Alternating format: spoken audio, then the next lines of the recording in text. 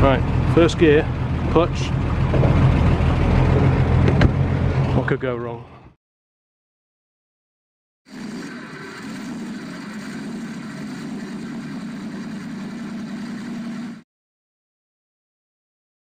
Okay, welcome to Old Classic Car now. The plan today is to see if the 1940 Dodge truck will fire up. I haven't run it for a few months and it desperately needs a wash. It gets very dusty in here, so uh, if I can get it to uh, fire up, then uh, let's see if we can give it a clean. Let's clamber on board and see if there's any sign of life. I've primed up some fuel into the carburettor because it tends to run back into the tank and it's a long way to churn the fuel through. So got two battery cut-off switches here, one for 6 volt, one for 12 volt. And the starter circuit is on 12 volt, everything else is on the original 6. So let's see if there's enough juice left in this battery.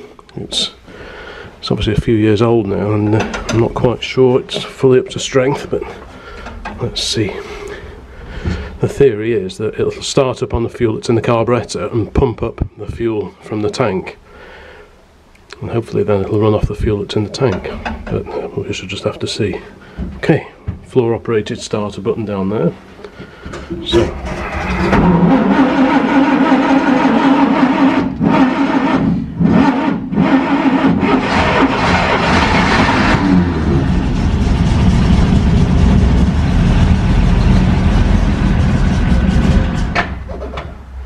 So that was running off the fuel that I poured in.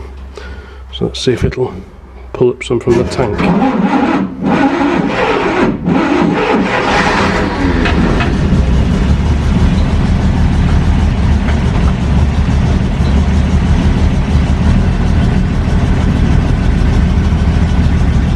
I think it sounds like it needs to clear its lungs out a little bit. The fuel is quite old.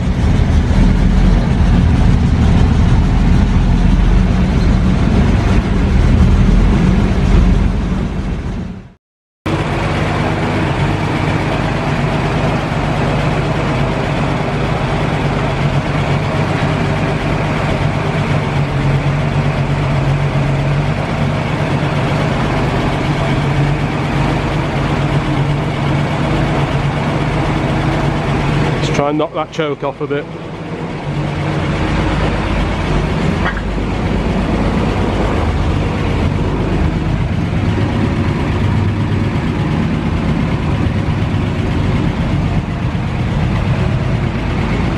I think she's smoothing out a bit now.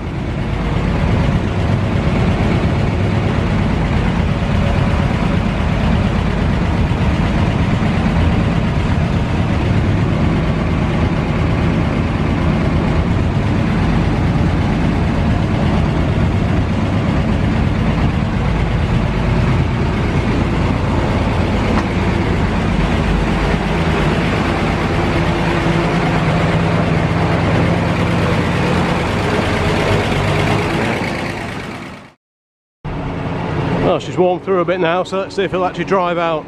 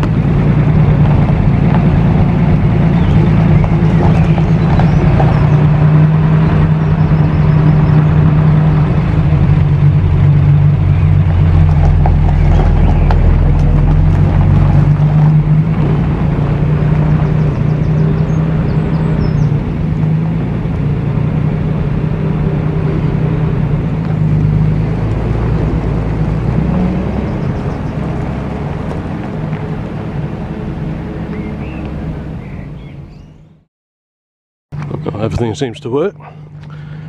It's not been outside for quite a few months, so it's, uh, it's nice to just warm everything through. Check the brakes, clutch. The brakes are hydraulic, the clutch is mechanical.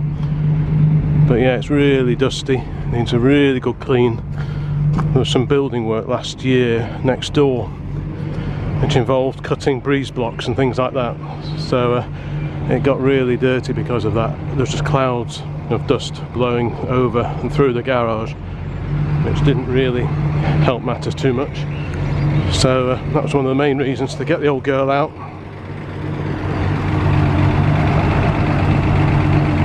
And give her a bit of a sprucing up.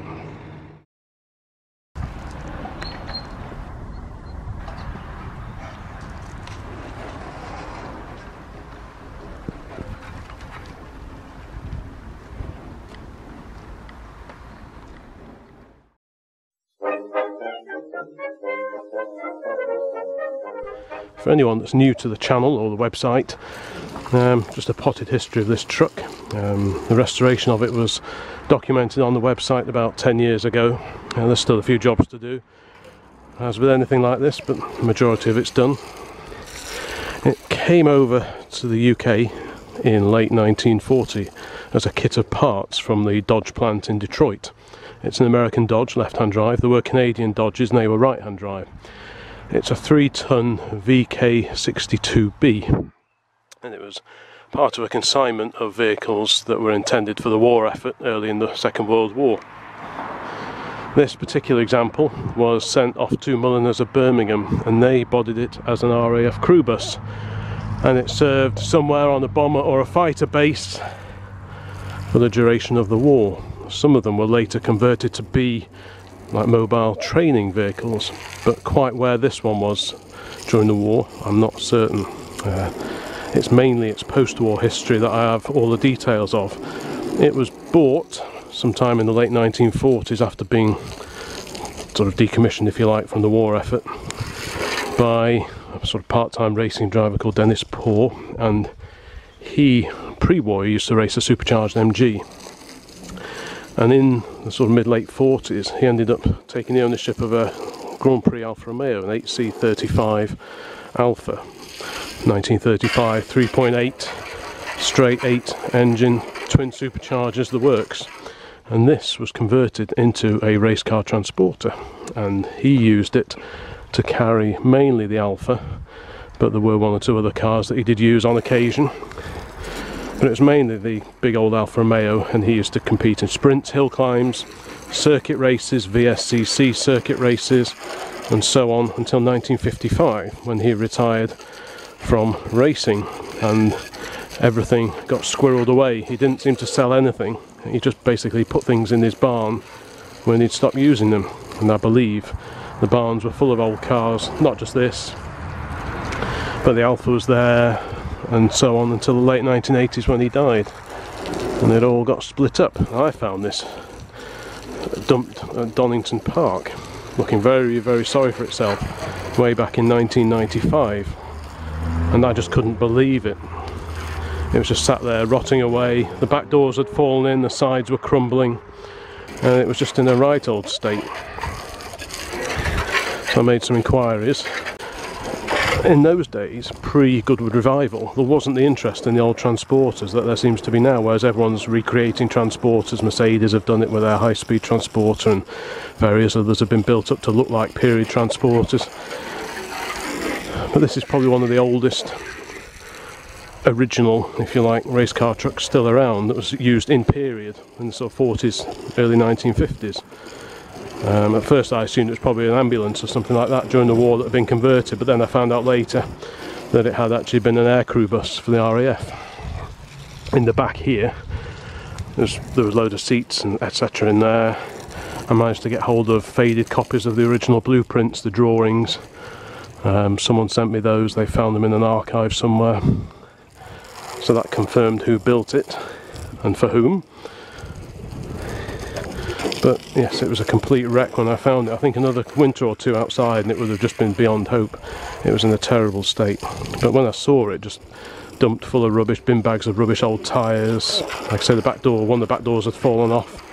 All the sides, you could sort of lean against them, crush them, and it was just all crunching and going, making some pretty unpleasant noises. Obviously, it wasn't a runner, but I just took pity on the old girl and I was able to store it in various barns and hangars until such time it could go away and be restored because it's the problem with vehicles anything that you restore you need several times the footprint of the vehicle just for all the parts once you've dismantled it so uh, that's a sort of potted history of this particular lorry.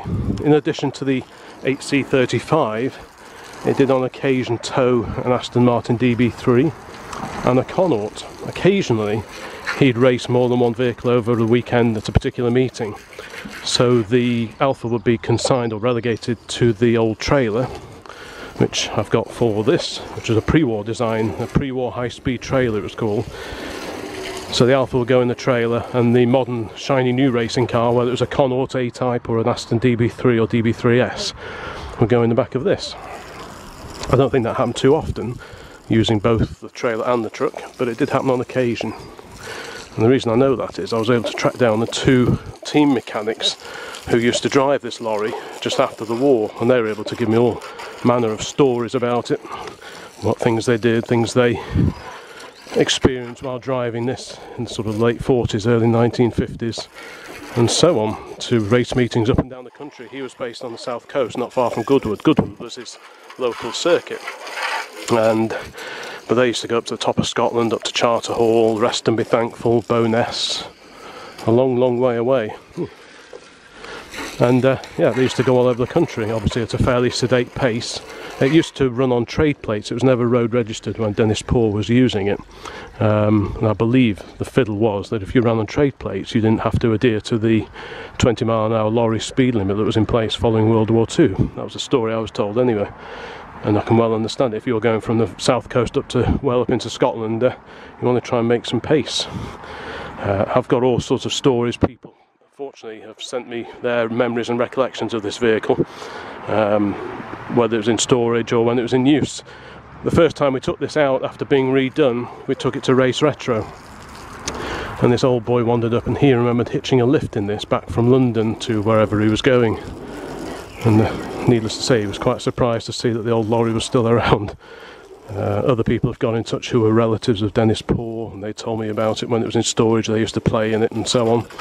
And I've got letters from different people who also remember it and maybe driven it, etc. So, uh, if there's any interest in a, a more in depth history of this unique old lorry, because there's no other ones, um, please let me know in the comment section. Uh, like I say, the plan today was to fire it up it hadn't run for a little while and just give it a damn good wash because it was really dusty. But you just have to pick your weather and your, your timing because it's not a small thing to move.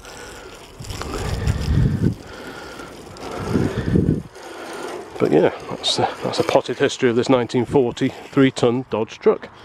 Um, like I say, made in Detroit, shipped over here late in 40, bodied here. This is original Dodge, the front up to the top of the windscreen up there is original Dodge. Then the big forehead, if you like, back and the doors is all bodied here. So it's a mixture of American and British. But as soon as I saw it, I just couldn't believe what a cool looking thing it was. Like I say, pre Goodwood revival, there wasn't a great deal of interest in these old transporters. Obviously the BRM truck was around, the old Leyland, and the Ecurie Ecosse lorry was well known and had been for many years, but really other than that, there wasn't a great deal of interest in the old hall as it was all about the racing cars. But since the revival came along in 1998, the interest just blossomed really in the I suppose the theatre if you like of historic motor racing so uh, it's not just about the cars now it's about having the transporters and the old team equipment and the period overalls and the, the correct style racing helmet and so on so it's a lot more about the theatre and the pantomime of racing back in the old days and having everything looking just as it would have done and that was largely down to the, the Goodwood Revival like I say which is an excellent event this truck went to the first Goodwood motor race in 1948 and carried on going there for several years. It went, I think it went to Silverstone as well in 1948. It's been to Shelsley Walsh, the Prescott Hill climbs, like I say, Bo'ness, Rest and Be Thankful, all these places. It's been to circuits like Castle Combe, Silverstone, Goodwood, um, all over the place. Back in the early 1950s, Dennis Poore was quite a prolific weekend racer. He was an industrialist by profession, but he was a very handy racing driver. Pre-war, he was a demonstration driver for Atalanta, the, uh, the sports car makers, and he used to take our prospective customers in a demonstration car and scare them witless um, in a bid to sort of demonstrate their car's handling and so on. So he was a very handy driver, and he later went on to. Uh, he was persuaded to take on the running of Norton, Norton Villiers Triumph as it became, and so on. And uh, there was a time of difficult industrial unrest, etc., the 1970s. But of course, by then he'd long since given up the racing, and this was just stored away in his barn with the Alfa that it once carried. Various people did try to buy the Alfa over the years, but they were shooed away. He had no intention of selling any of it, and this was stored alongside the car, the trailer, all the old team paraphernalia, and so on. So it must have been quite a sight when it came to disinterring everything. But I just think it's a fantastic looking vehicle. And uh, as soon as I saw it, I thought I've got to try and do something about that and not just let it rust away completely because I think that's what would have happened if it had stayed too many more years just dumped outside. I think a few people knew of its existence where it was dumped, but no one was really that keen on taking on the rebuild, and I can I can see why because it was a it was a bit of a monster of a job. Would I have done it any differently now if it was going to, to be restored now? Probably. But, you know, you just go with what you know at the time. But at least it survived, it's, it's, it's still here. Because otherwise I don't think it would have been. Um, like I say, it's over 25 years ago now that I found this.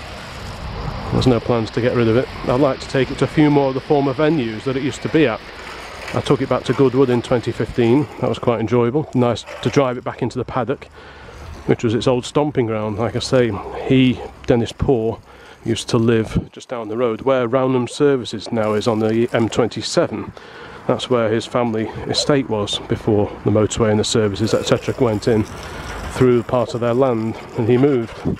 Back in those days, pre motorways, that's where he lived and where he was based with the car, the Dodge, and everything else. So it was really nice, very satisfying to drive it back into Goodwood paddock. And of course I took it back to Donington in 2011, so that was good. So it would be nice to take it back to some of the hill climb venues that it used to frequent, Shelsley Walsh Prescott being the obvious ones. And just drive it back into the paddock. Sadly without the Alfa Romeo in the back, but you can't have everything that's I think that's squirreled away in a collection somewhere in America, no longer being raced. The previous owner did at least race it. I did meet him on one or two occasions. Here comes trouble.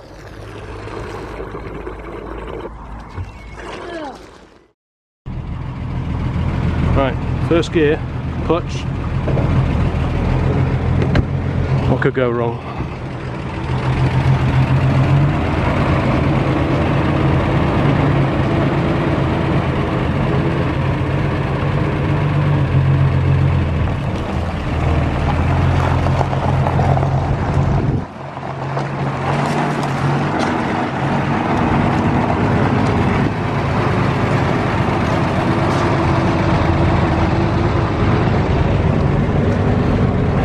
A short way back, but not too far.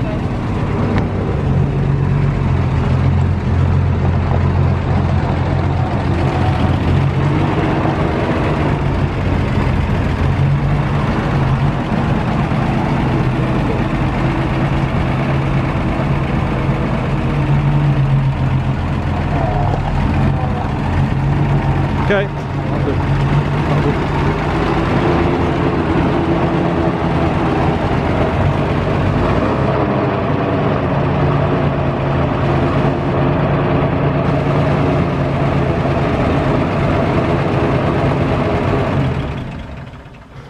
was that? It was good. bit heavy. Yeah, just a bit. right, we'll give it a rest now. It's probably around 80 years ago to this month that this was actually being bodied. Um, like I say, it came over late 40. It's a 1940 truck. And then it was, went to uh, Mulliners of Birmingham to be bodied as a crew bus for the RAF. So 80 years ago, pretty much to this day, it would have been in their workshops being built up. I'm not quite sure how many of these were made. There's several, you know, a reasonable number were built. Most were scrapped after the war due to their vast thirst from the 5.4 litre petrol engine. One or two did escape. Some went into the travelling sort of fairground circus world. I've seen photos of them converted into that. I've seen a small number were converted for the Southend Corporation Bus Company, but I can't imagine they were used for very long.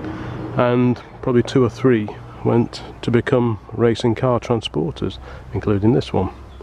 Um, but none of them survived. This is the only one of these that's left as far as I know. The nearest thing to it is a Fordson WOT which survives over East Kirkby at the uh, preserved World War II airfield that they've got over there. They've got a Fordson WOT with this body on the back um, which they restored a few years ago. But as far as Dodges go, this is the only one. And uh, in fact there are very few three ton American built Dodges of this era full stop. Um, there are a few Canadian ones around the D60s, they seem to have survived in larger numbers. But these were a heavier vehicle altogether. Um, still rated at 3 tonne, but everything was beefed up just a little bit more. Axles and everything, the track was increased. Um, so the nose cone is common to all the sort of 39 to 47 job rated Dodges, but that's where the similarities end. So it's quite an unusual survivor really. Uh, sometimes I just sit in the back and try and put myself in the position of the guys that used to be in the back with all their air crew gear on going off to the Lancaster or whatever it was they were going to fly and what was going through their mind when they were sat in the back of here knowing that there was a very good chance they wouldn't come back and many of them wouldn't have done so it's quite sobering actually sitting in the back sometimes and just sort of uh, letting your mind wander a little bit so uh, while it's been preserved in its post-war guise it's nice that it does have a bit of history prior to being used to carry the Alfa Romeo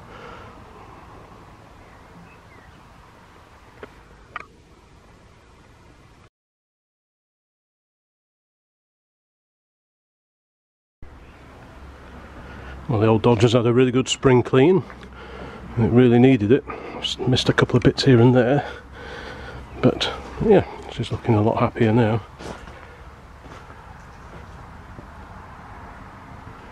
Like I said before, there's still a few little jobs outstanding. And I want to just I'll give it a bit of a service before thinking of taking it down the road again. Um, but there's no reason why it can't, it all works. But you just want to check everything. So uh, anyway, well, hope this little introduction to the Jolly Green Giant was of interest. Uh, like I say, I've owned this for over 25 years now.